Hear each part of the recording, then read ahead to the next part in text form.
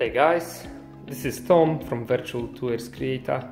In this tutorial I'm gonna finally show you how to shoot HDR photography with the Insta360 ONE R. What you can see on the screen is the HDR preview. Can you see the blue sky? Now have a look at a normal photo. So that's how it looks like when there is no HDR. You just shot a normal JPEG and that's when you do HDR. Let's get on to it. To start shooting in HDR, you have to go to your app settings and where you are in the single shot mode, let's just click on that. The second icon says HDR photo, so let's click on that. Now we just have to choose what mode of HDR. There's quite a few, but let's scroll to the right. Set this, the photo quality, just to a single JPEG. This will make uh, the photos um, be take, taken faster uh, because now we're gonna choose the auto exposure bracketing. You can either shoot 3, 5, 7 or 9. 9 is your best bet because your camera is to take 9 photos in 360 and it's to merge them automatically into a beautiful one single image. On top of that, we have to choose what um, bracketing between photos we're to choose. So we're to set the distance between the photos in ex exposure to plus minus one. And now we are ready to shoot. Okay, so all you have to do is just press this button to take a photo. It's to take longer than uh, usual. There you go, that's me, hello.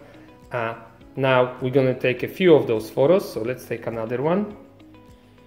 Because from now on, you're gonna have to do one uh, very important trick.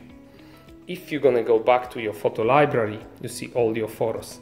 It will tell you down the bottom here if it's an HDR. You can see that, yeah, HDR. Now, to download those photos, you can't do it like you are doing it with normal JPEGs. So you don't just select them and press download. First, you have to synthesize HDR. That's one step um, more than what you would do with normal JPEGs.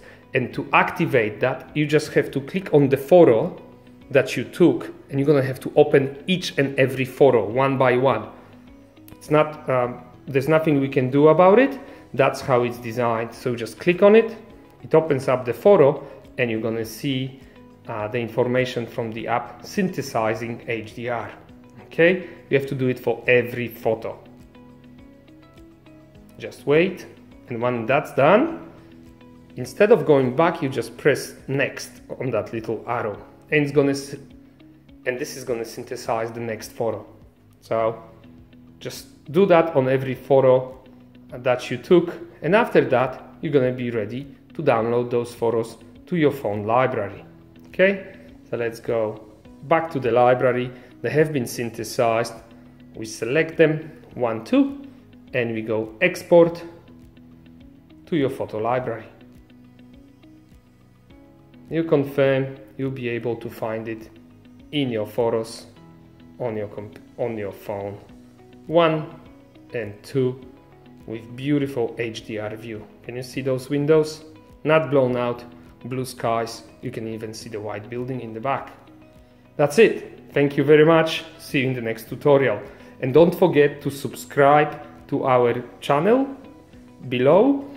And also, if you want to do a free virtual tour, click on the link below. See ya!